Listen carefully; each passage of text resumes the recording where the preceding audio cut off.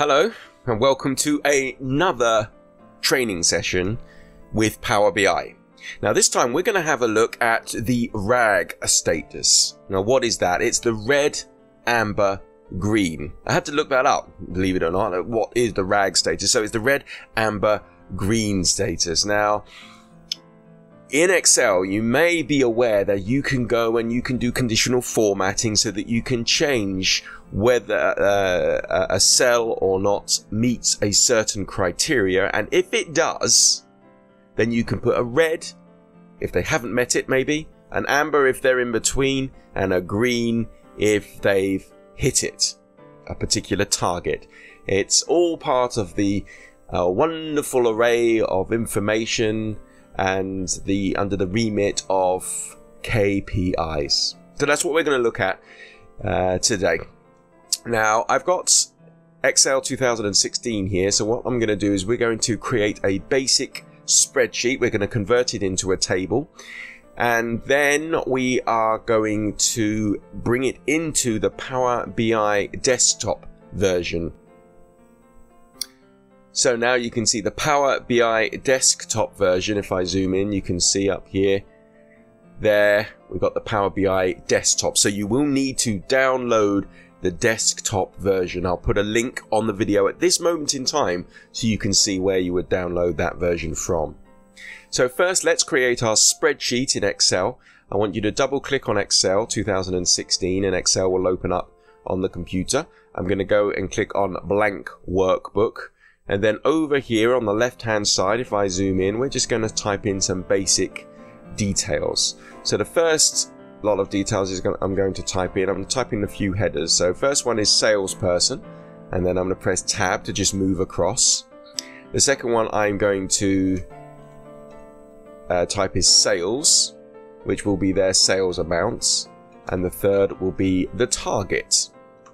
Alright, let's just make our columns a little wider here. There we go. Actually, if I highlight all of that and double click, it does it all at once. Alright, so the first person is going to be John. Second person is going to be Jane. Uh, the third person is going to be Trisha. And the fourth person is going to be Colin. So there we go. John, Jane, Trisha, and Colin. So each of them have particular sales. So um, John got 99 sales. Jane got 120 sales. Trisha got, uh, let's say, 80 sales. And Colin got 108 sales. Now, they all had to reach a particular target. And what was that target? Well, that target was 100 sales. I'm going to type in 100 and then double click just to autofill that down. Now the next thing that you need to do here is to convert this, uh, this range of data into a table. This is how you do it. Firstly, I want you to click on any cell within the data range. It can be any cell, it doesn't really matter, but just make sure you, that you click on one cell. The next uh, stage to this is I'm going to get you to click on the Home tab or just make sure that you're clicked on the home tab there. And then if you go across and move across there is a button that says format as table. So you see that format as table button? I'm, going to get you to click on that drop down list and you can see a wonderful array of a rainbow choice of colors going on here. So you can have light if you're into the light colors. You can have medium if you're getting a little bit more darker in the colors, or if you want to have the dark colors, you can choose these dark colors down here. There are more styles and table styles available. You can create your own custom style. I don't cover that in this video. Please keep a lookout for more videos which will talk about these particular styles. But what I'm going to go with, go with is I'm going to be very boring. I'm going to go with this blue one just here, the blue table style medium 13. It looks good. So I'm going to click on that. Now, as you look down here, you can see with the format as table box, uh, you can see the range for the data. Notice the dollar signs. So if you're used to, or well, not used to absolute references, please make a chance or take the opportunity to look at the absolute references video. Now in particular, I want to draw your attention to this bit where it says my table has headers. So what that means is when this is formed or made into a table, what Excel will do is it will ensure that these bits here are headers, table headers. So let's just click on OK for that. It's converted into a table. There's many benefits that come with that. Again, I don't go through that in this video. So the next thing I want you to do is name the table. So if we just show you here, that's where we name the table. Don't use any spaces in the table name. So I'm just going to highlight the table name here and I'm going to call that sales persons and just press enter. Remember to press enter. Sometimes if you don't, Excel seems to forget. So now we're ready to save our data. So I'm going to click on the save button and I'm going to go to my OneDrive and then I'm going to go to computer tutoring and I have a folder called muckabouts and in the folder called Muckabout I have a Power BI uh, folder so you can see many different files that I've got there I'm going to give this one here rag KPI sales persons I think that's an original name you can call this file whatever you want so now we're going to click on save and that's pretty much it for Excel. It's saved in its Excel. It's in Excel. It's saved. It's a table. That's everything we've done. So first thing, we've created our data. Notice our column heading is here across the top. Uh, then we've put all of our data in rows, just like standard normalization, I suppose you could say. You could split it up or bring it or model the data as you wish. And then we've got a sales in there and we've got a target. So we're going to do the if statement within Power BI. So the first thing we need to do is bring this spreadsheet into Power BI. Now you can do this while this spreadsheet's open if you want, but I'm going to close down the spreadsheet. So if I close that down, and then I'm going to double click on Power BI, and this is Power BI desktop to open up the Power BI desktop and you can see it's opening up on my left screen there so I'm just going to bring it in the middle so you can see hey ho there's my Power BI desktop. I'm just going to close down this splash screen here because I'm going to get data from the ribbon. So if you go up and you see here where it says get data, I want you to click on that. So if we click on get data and if we click on Excel, and now we can find our Excel spreadsheet. So here's my RAG Excel spreadsheet. So I'm going to click on that and click on open and it will load that Excel table into Power BI, but I've got to select the table first. And here we can see the sheet, which is the sheet or the only sheet that was in Excel.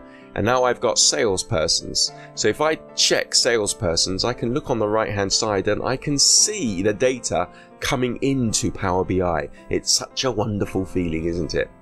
So now we're going to click on load and then the data will load up into Excel and then we're going to, uh, rather, sorry, Power BI and now we're going to have a look and see the data and we need to create a KPI. So we'll start off with a basic if statement just to get you accustomed to it and then we'll get into a nested if statement and in that way you can see how you can do the red, amber and green. So let's have a look at the data. So if I look on the data view just over here on this left hand side, so if you click on this data view button, and you can see the data. So if I just zoom in so you can see, you can see the data is exactly the same as it was in Excel. So now I need to go to the modeling tab here at the top. So if you click on the modeling tab. So you click on the modeling tab because we need to create a new column. So if we go down to, and we're going to click on new column. So we've clicked on modeling and we've clicked on new column. So that's how we create a new column. So now we need to put a calculation, this if statement inside the column. So what I'm going to do is uh, you give the name of this here. So what I'm going to do is call this one KPI indicator. Okay, so KB, in fact, I just, just call it KPI. I'll call it RAG because that's eventually what I will do. So I'm going to click over here and just to the right of this equal sign. And now I'm going to type in my calculation. So what I need to do is basically check to see if the sales are greater than the target. And if so, I want it to show a little picture, a little icon of an up, a green up arrow. And I'll show you where you can get that from. There are many places, but I've got a special place located to make it easier. If you feel that you want another icon, I can actually add extra icons there for you at your request. So let's put in the if statement. So it's going to be if, open brackets, sales. So I'm just going to type in an open square bracket and if you look just closely here, you can see when I press my open square bracket there, you can see the list of all of the fields within this table. So let's just go back, or let me just delete that and put my square bracket in. So I'm interested in the sales. So if the sales is greater than or equal to the target. So in this time I'm pressing open square bracket and double clicking on target. So I'm just going to zoom in so you can see that. So you see if the sales is, so if the sales is greater than or equal to, so you notice there the greater than and equal to symbol, target. So that's the field name there, target. So that's good. So if that's the case, if they're greater than and equal to the target, which is 100 in every case here, I'm pressing a comma. So now I want to return a value of true. So if, if they've got their target, I want a nice green arrow that points upwards to show, yeah, we've got the target. So what we're going to do here is go open up double quotation marks. Now we're going to go and get this green arrow. So I'll give you a website location. If you go to Google Chrome, and then if you type in the following address.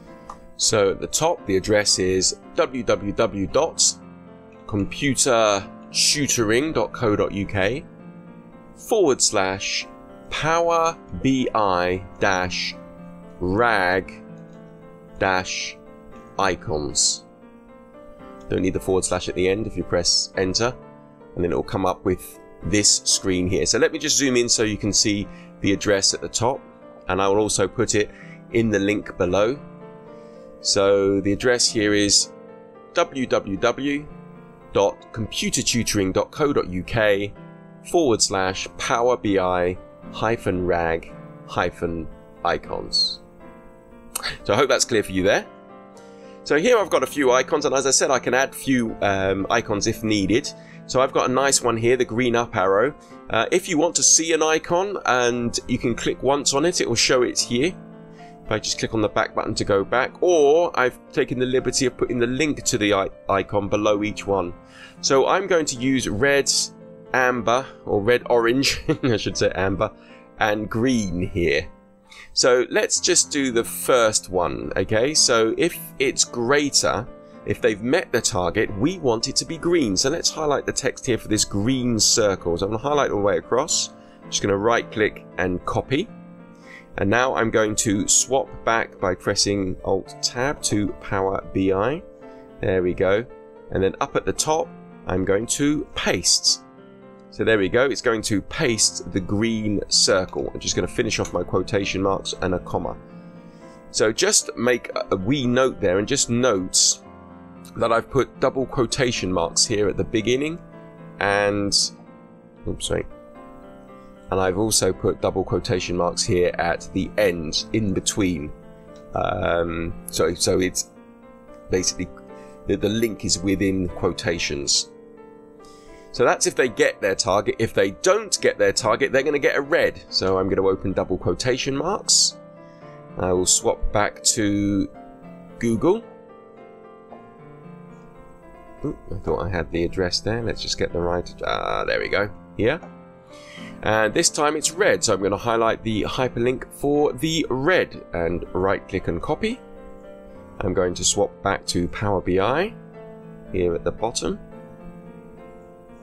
and I'm going to right click and I'm just going to control and V to paste so press control and V to paste my right click didn't work there I'm going to close off my quotation marks and close off my brackets now just going to zoom in just to go through this one more time. So there we go. The first part is the if formula. So that's the first part of it.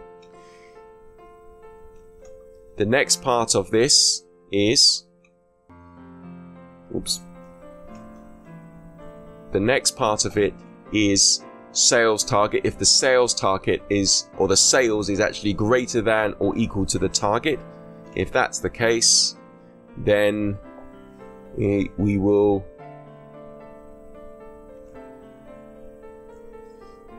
put in the green circle. Otherwise, we will put in the red circle.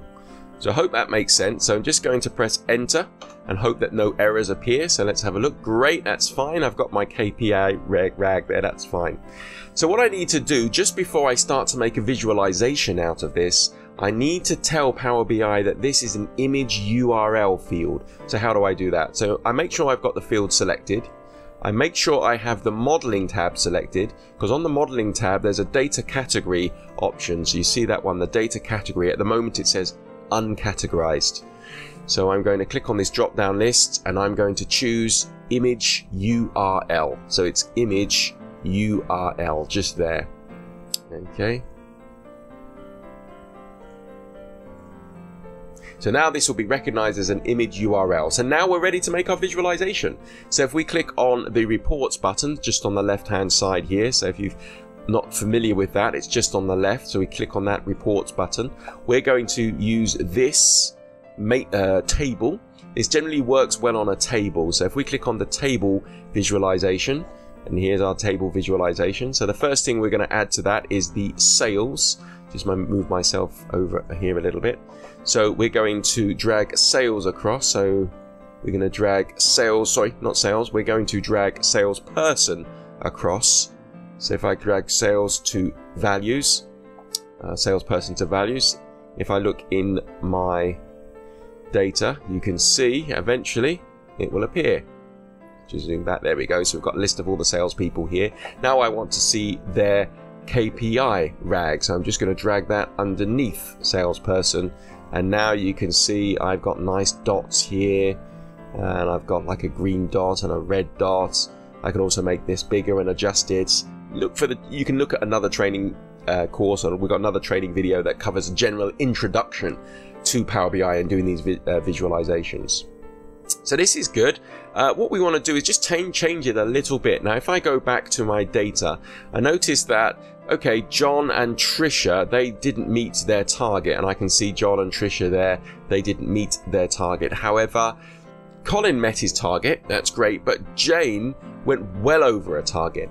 So we could do another or a nested if statement to check the value to see, okay, if it's between uh, say for instance it's 100 plus 10 you know the target that's that's like maybe 10 over the target you will get the green. If not you get an amber because it's okay. And if not you will get the red. So this is what we're going to do here. We're just going to adjust this a little bit. So the first thing we need to do is I'm just going to click on this button just here. So you can see down here there's a button and that expands the formula window. So if I click on this expands the formula window. I can now use the shift key and then bringing the lines down. So what do I mean by that? So the first thing is, is sometimes looking at this all in one big clump or one big long line can be really difficult. So what we're going to do is hold down the shift key, just click just before, see where I've clicked there, just before the double quotation marks. And then I'm going to hold the shift key down and press enter just to bring that down to a new line. So now if the sales is greater than and equal to target, I now need to check to see if it's greater or equal to the target plus 10. So that's what we're going to type in there. So if the sales is greater than or equal to, and I'm going to open my square brackets just for making sure an order, order prefer, preference here, and then targets plus 10, close bracket, comma. So just zoom in so you can see that one here. So basically, I'm saying if the sales is greater than and equal to 10 over the target. So the target at the moment is 100. So if it's 110 or greater, it will be green. So there we go. We've got our green one there. Excellent. Otherwise, it's going to be amber. So let's find the amber one and put that in. So I'm just open quotation marks here. I'm going to swap back to my website here and then let me just move myself out of the way a little bit. And here's my amber so I'm just going to highlight my text here like so and copy it. Swap back to Power BI uh, make sure I get the right one. Brilliant. And then back up in the formula I'm just going to paste the amber. Okay so that's if it happens to be above 100. I've still met my target, but I haven't reached the target plus 10, the superlative target. That's great. So I can close off my brackets for my first if statement. So that's my first if statement there. And then last but not least, I can put a comma in and that finishes our last if statement there. So let me just bring that down. So I'm just going to click on the just after the first comma there, or just before the one for the orange and the quotation marks, and press Shift and Enter to bring that down to one. Uh, that's good. And then I'm going to just do the same with this, Shift and Enter to bring that down there. So let me just click away and then zoom in so you can just see the actual formula themselves so we can go through that. So the first part of the formula is if the sales target, if the sales is greater than equal to the target, that's fantastic, good news. Then the next part of it is if it's greater than the target plus 10. So it's checking that extra condition there. So if that's the case, so if that's the case, then it will put in the green circle. So it's the green circle. That's the top nut notch one. Okay. Otherwise, it's okay you know, it will be the orange circle, so that's okay. Or lastly, it's going to be the red one for those who haven't met the target because it hasn't met the first if statement. It hasn't met that one there. So it's going to be red.